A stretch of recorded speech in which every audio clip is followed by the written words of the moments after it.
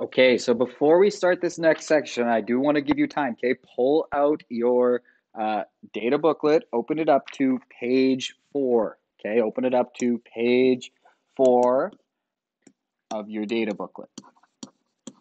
I want you to have this open while we go. Okay, if uh, if you don't have your data booklet, you didn't bring it home. Okay, if you were able to print it out, pull out that page of it. Okay, if not, maybe just make these notes and say this goes with your activity series. Just do that on blank paper, okay? But this is really important to kind of have on hand as you go. So you'll definitely need page four of your data booklet for today. Um, yeah. So I want you to write these notes actually in so you have them to uh, refer to, okay? We, what we have here on page four is something called the activity series, okay? What it basically means, it's sometimes called the reactivity series, but it basically shows how reactive or unreactive certain things are. Okay. The key point here is that the more reactive a metal atom is, that's the neutral one without a charge, the less reactive its ion is, and vice versa. So the more reactive the uh, the less reactive the atom is, then the more reactive its ion is. Right? It goes both ways. So what does that really mean? It means when we look at this, okay, um, up here, let's first just kind of label it in. Okay, so how does it work? You can see on this side there's an arrow pointing up that says increasing strength of reactants as an oxidizing agent. So up here we have really strong oxidizing agents, things that are really good at helping other things oxidize, right? Which means if they're really good at helping other things oxidize, what are they really good at? Doing themselves, well, if they're good at helping other things oxidize, that means they themselves, the things up here on the top left, they are very good at being reduced. Okay, so the things on the top left are the strongest oxidizing agents, which means they're very good at being reduced themselves.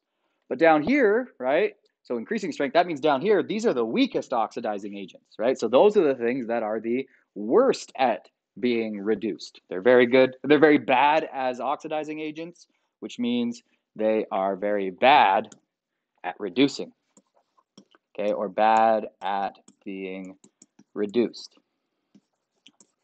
And when we say bad at, we also kind of mean they don't want to, right? The things that are good at being reduced, they really want to be reduced. Things down here that are bad at being reduced, they don't really want to be reduced.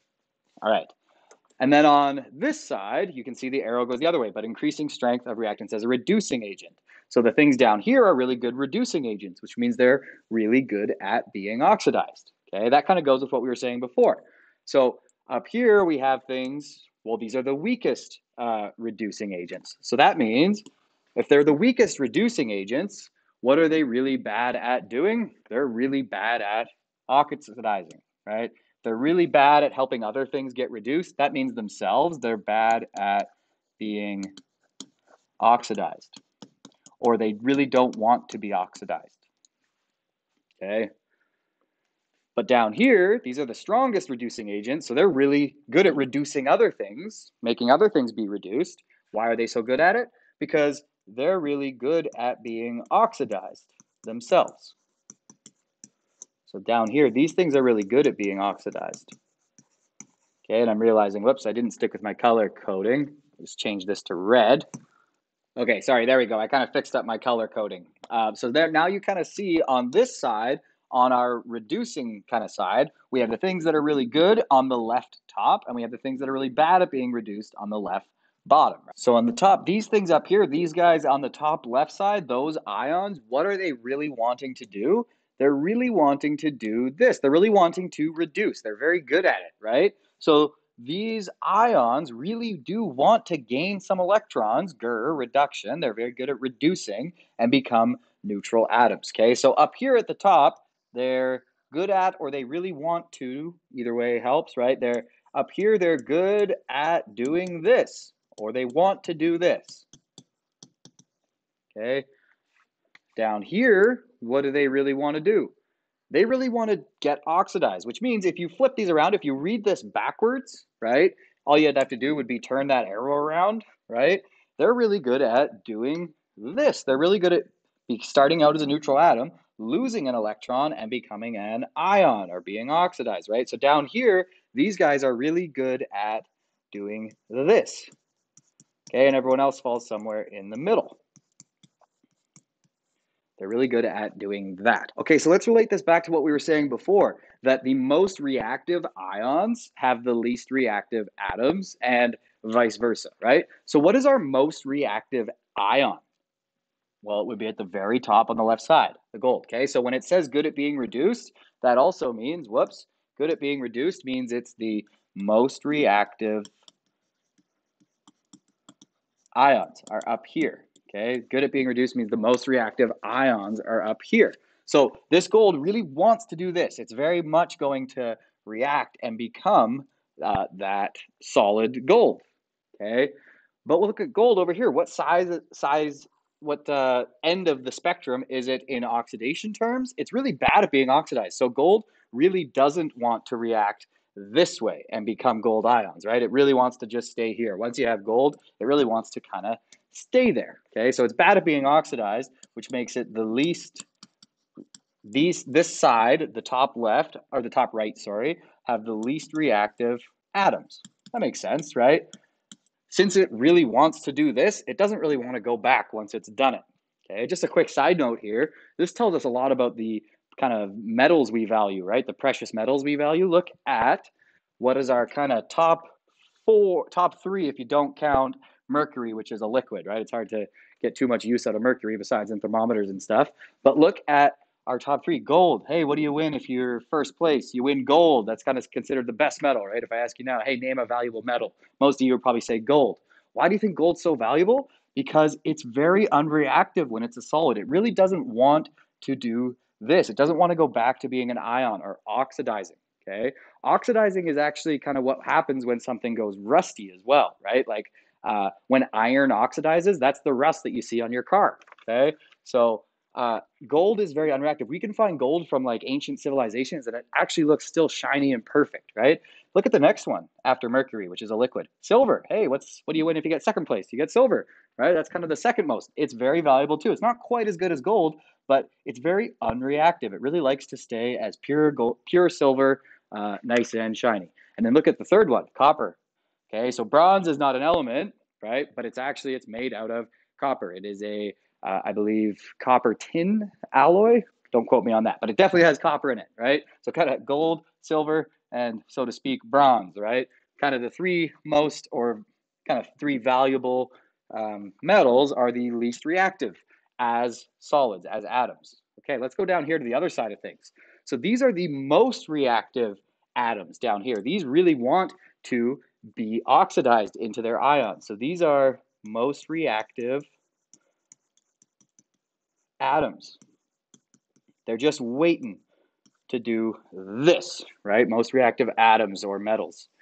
Whereas over here, like we said, the most reactive atoms will be the least reactive ions.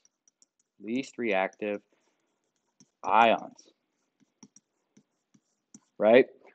So once lithium, since it really does want to do this, it it doesn't really want to go back, right? It's very good at becoming Li plus. So it's not very good at going back into being Li, right? If you do something that you've really wanted to do forever and ever, and I ask you to undo it, you're not really going to want to listen to me, right?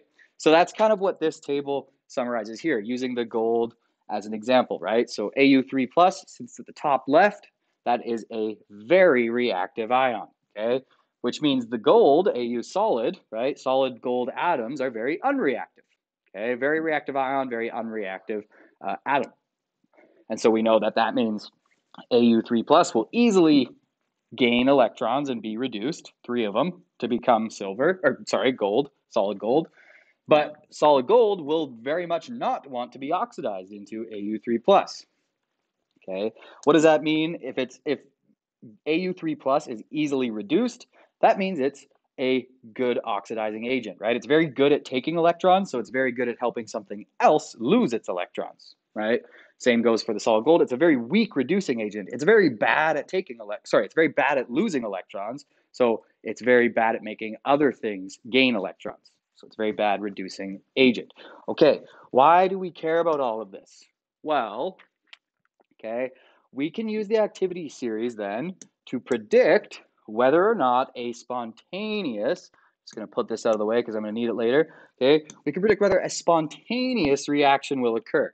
what does it mean to be spontaneous? If you're a very spontaneous person, you just kind of do things. No one has to make you, no one can really control you. You just you just do it, right? You just do it because you feel like it.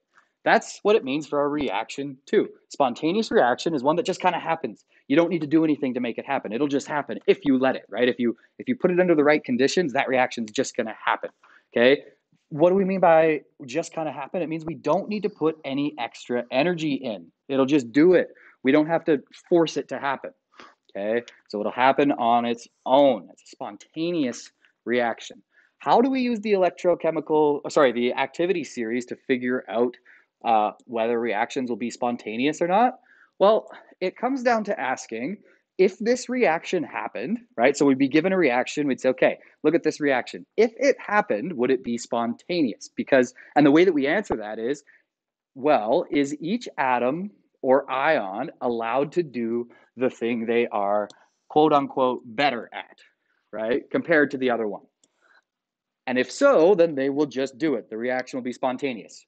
Better at or wants to do, right? The, the thing they're better at or the thing they uh, the thing they would rather do. Okay. Um, so think about this in terms of like school, right? Let's say you're really, really good at science, um, but you're not great at English. And your friend is really, really good at English, but they're not good at science. So what would you do? You would probably just naturally say, hey, let's help each other out with this, right? That's a good deal for both of you. You're both allowed to do the thing you're better at. You'll say, I'll do your science homework. They say, okay, I'll do your English homework. Uh, you shouldn't do that because you won't learn anything, but you get what I mean, right? So uh, the same idea here. Now, what if you were better at uh, science, just like before, you were better at science, they were better at English, and they said, hey, how about I do your science homework and you do my English homework? Would you enter that deal?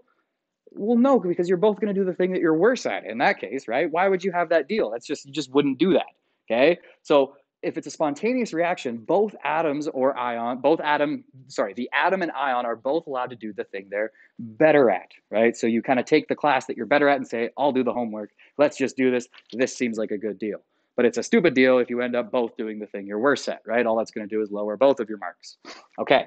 So how do we apply this? Well, we look, just like always, we look at a reaction, say, okay, what's happening to each thing, and then compare. Are they allowed to do what they're better at? So let's start off with uh, this reaction here.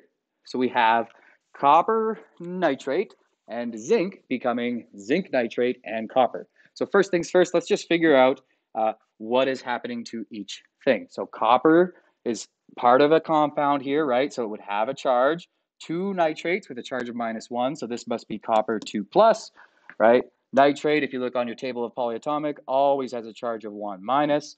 Okay, and then we have poor lonely zinc all by himself, just an atom. So that is zinc uh, zero. Whoa, that's huge. Just zinc zero. Okay, and then things have changed for zinc. Now it's part of a compound. So what's zinc's charge? Look on your periodic table. That one is always the same. It's always two plus.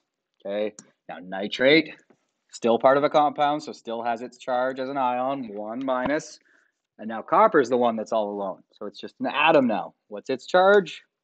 When it's an atom, same as everything else when it's an atom, zero. Okay, so we can see here. Uh, let's kind of go through these questions it's asking us. So it says zinc is near the bottom right. So to look, see what they're talking about, let's pull out our activity series. Again, this is page four of your data booklet just going to pull it out so we can read it along with it. Zinc is at the is near the bottom right, well below copper. So let's find it. Okay, zinc, solid zinc. Where is zinc? Notice not zinc 2 plus, right? Because that's not what we had before. What did we have before? We had zinc uh, here. Okay, so solid zinc is what's present before. What is happening to zinc? Well, it's going from being just plain old zinc, just plain old zinc with no charge to becoming, what is it after? It's an ion, it's zinc 2 plus. Okay, so zinc's down here. Remember, these are the ones that are uh, down here. If you look at your periodic table, these are very good at being oxidized. As you go down, they get better at being oxidized. Okay, so this thing is, what is this? What kind of reaction is this? Is it getting more negative or less negative? Well, it's getting less negative, right? It's losing electrons. It's going from 0 to 2 plus. So this is an oxidation reaction. Okay, let's ask us. Zinc is way below copper, right? Zinc is down here. copper, solid copper, is way up here. So is zinc better at oxidizing than copper? Yeah, right? These are the best at oxidizing. Best at getting oxidized, right? These are the worst up here. These are the worst at oxidizing. So is zinc allowed to do what it's better at by this reaction? Yeah, it's oxidizing. That's what it wanted to do, right? So zinc got oxidized. It's better at copper than doing that. So yes. Okay. Let's read the next part. Copper 2 plus is near the top left, well above zinc 2 plus. So let's just find that. Copper uh, 2 plus, zinc, where'd you go? Zinc 2 plus, right? So these guys are best at reduction. Remember, these guys are the worst at reduction. So up here we have copper. What's copper doing? Is it getting reduced? Well, yeah, it went from copper 2 plus, right? It went from copper 2 plus to just plain old solid copper, right? Okay, so copper was reduced. Is copper better at reducing than zinc? Yeah, it's up here closer to the best, right? So copper is definitely better at zinc than reducing. So copper got reduced. Was it allowed to do what it's better at? Yes, it was. So both things are allowed to do what they're better at. Okay. And it says whenever this happens, okay, whenever this happens, the reaction will be spontaneous. It will just happen on its own. So would this reaction be spontaneous? You betcha, right? So it is spontaneous. Didn't mean to write it in this, but oh well. Okay, spontaneous. Because both things are allowed to do what they are better at. Check. Okay. Um, okay, last kind of note here. It's good to understand why this kind of works, but there is a bit of a kind of a quicker way, I guess, to figure it out without having to think about all of this stuff. But this works because, so the trick I'm about to show you, I mean, works because of all this stuff. Okay, but it kind of can make it a bit of a quicker way to check. So this is an important note here. This kind of sums this up. Whenever the ion that will react, so the ion that will react is above the atom that will react on the activity series, okay, a spontaneous reaction will occur. And then if that's not true, a spontaneous reaction will not occur. We would have to put in extra energy to uh, get that to work. So I'll show you what I mean here, okay?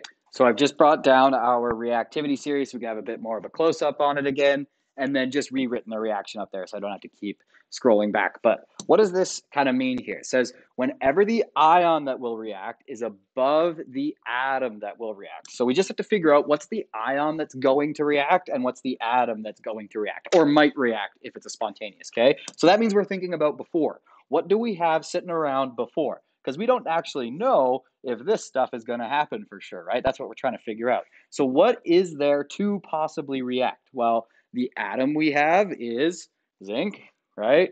And the ion we have is copper 2 plus, right? So that is our ion and that is our atom. So now if we find both on the periodic, or the, sorry, the activity series, we can say, okay, will this be spontaneous? And it says it will be spontaneous if the ion is above the atom. Okay, so our ion is copper 2 plus. All the ions are on this side, so we got to find copper 2 plus. Okay, copper 2 plus, copper 2 plus. Ah, there it is. So there's copper 2 plus. Okay, and then we have to find our atom on the other side, zinc. So we need to look for solid zinc, right? Should be an S there, should be an AQ there. Okay, so solid zinc. It's not going to be on this side. It's going to be on this side because it's an atom. Okay, zinc, right? There we go. So when you're finding the ion and the atom, you're always going to be finding one thing on this side and one thing on this side. Okay, so there we go. We found our atom and our ion. What was the rule? Whenever the atom, sorry, whenever the ion is above the atom, the reaction will be spontaneous. Okay, so that means based on this, would this be spontaneous? Yeah, our ion is above our atom, right? They're both being allowed to do what they're better at. So remember, uh, things up here are good at doing this. Things down here are good at doing this. We're letting this become this, and we're letting zinc become zinc 2 plus, right? So we're letting them do what they're better at, okay? A little kind of trick that I think of to help me remember it is imagine like a, a Mario game again, right? Left to right. Left to right, this would be downhill, right? Water flows downhill naturally. You don't have to do anything. Or a ball will roll downhill. All you got to do is let it happen and the ball will roll downhill. Okay? But a ball will never just start rolling uphill. So I think of it as water flows downhill, balls roll downhill. So this is kind of downhill. If when you connect your two things, you make that shape, okay, it will be then spontaneous. However, if you do it the other way, right, if you make that shape, it will be non-spontaneous. Oh, that looks horrible. Okay, I'm just going to go back to the bigger one so we can add that in. So add this in on your page four, okay, wherever you have room. But essentially, when you connect the atom and the metal, sorry, the atom and the ion, if you make this shape, okay, if you make this shape, that's going to be, it's downhill, so that's a spontaneous reaction, right?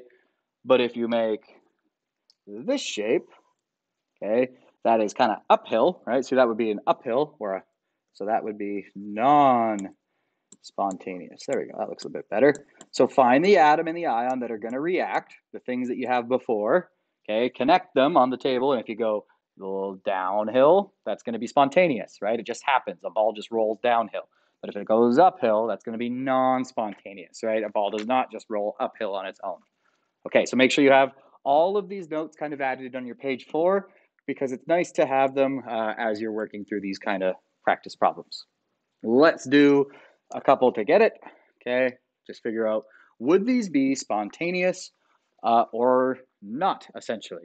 So I just grabbed our uh, activity series here, okay, um, and we'll kind of use our our knowledge now that if it goes downhill, it's going to be spontaneous. If it goes quote unquote uphill, it's going to be non-spontaneous. Okay, so first let's just figure out, hey, what could react and what's the atom and the ion out of that? Okay, It'll always be metals. Notice nowhere on this table are there nonmetals. So for us in Science 20, we're always only looking at the spontaneity of metals reacting. Okay. Okay. Looking at gold, solid gold here, right? Is that an atom or is that our ion? Well, does it have a charge? Nope, right? So that must be our um, atom.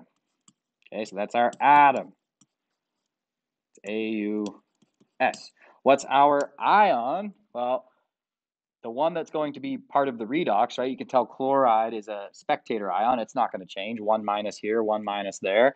But silver, that is an ion. That is our Ag plus, right? And if this reaction occurs spontaneously, it will be reduced. Okay, so if this reaction occurs spontaneously, gold would be oxidized, silver ions would be reduced. So let's just go ahead and find both of those on our activity series. We have gold, the atom, Okay, so find the atom. Careful, don't make this mistake. Is that what we have before? Is that our gold atom? No, that's a gold ion, right? So don't do that. Okay, we have not Au3 plus, we have Au solid, right? Not a Au3 plus aqueous, Au solid. So that's what we're looking for. Okay, on the other side. What else is present before? Well, our ion, Ag plus, silver. Okay, where is that? There we go, found it. Okay, not this thing. That would be solid silver. That's not there before. It might be there after if this reaction is spontaneous, but it's not there before. Okay. And so is this reaction spontaneous? Well, let's just kind of see. Let's connect them. Aha. Uphill. Okay. Slightly uphill, but definitely uphill, right? Not downhill. So will this reaction be spontaneous? No, this is a non-spontaneous reaction. Okay. And again, we can kind of confirm that with what we uh, know about what this table actually tells us, right? Gold is going from zero to three plus. Gold is being oxidized here. Remember, gold really hates being oxidized. Okay. This stuff is really, gold is very unreactive. Okay. Unreactive. Bad at oxidizing.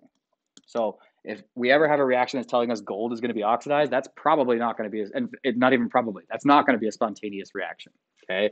Because it's really bad at doing what we're trying to make it do, or it really doesn't want to do that.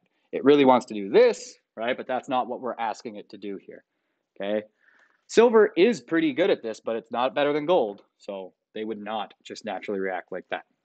Okay, let's look at the next one here. Um, again, kind of first step, right? Is think about what is there here to react, right? What is my atom, my metal atom, and what is my metal ion that are able to react here?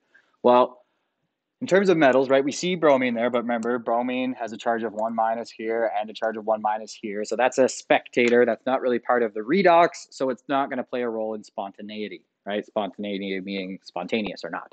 Okay, so the metals, though, those are what's on our table. So we have iron and lead. Again, this is one where I would say do it on the whiteboards, okay? So pause the video, try it out on your own, see how it goes, determine if this reaction would be spontaneous or not, and then uh, come back and see what I did. Okay, but I'm looking at this and I'm saying, okay, right now, what do you think? What's our atom? What's our ion? Well, the atom, like always, is going to be all by itself, right?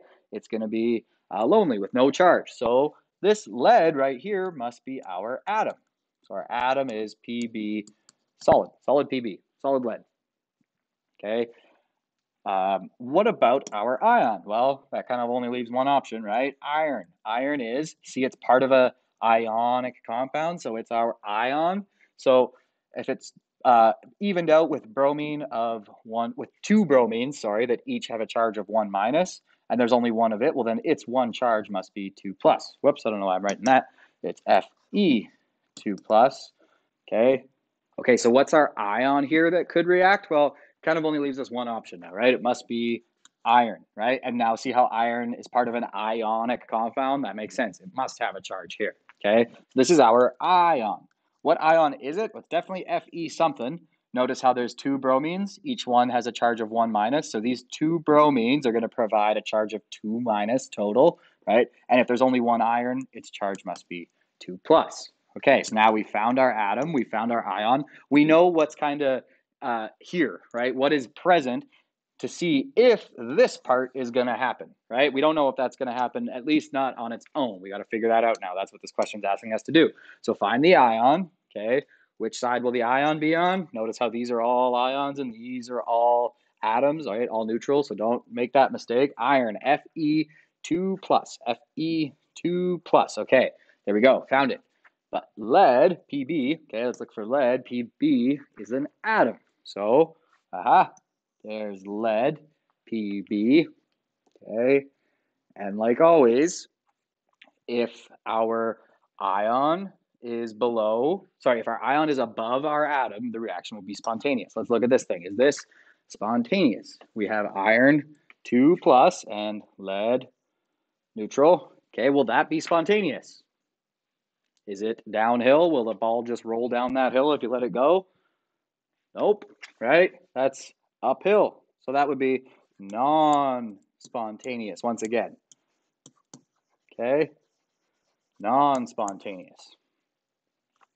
All right.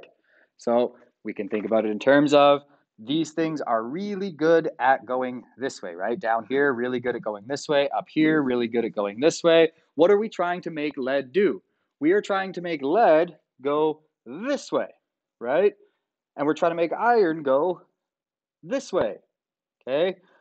Iron is better at going the other way, and lead is better at going the other way. So that they're we're trading science and English, even though we're better at the other one, right? This is the scenario where why would I help you with English if you're the one that's better at English, and why would you help me with science if I'm the one that's better at science? Okay, so you just wouldn't make that deal. So this reaction would be non-spontaneous. Okay, you can now do all of the first two pages, the redox part, until it starts talking about electrochemical cells uh, for the formative uh, practice assignment.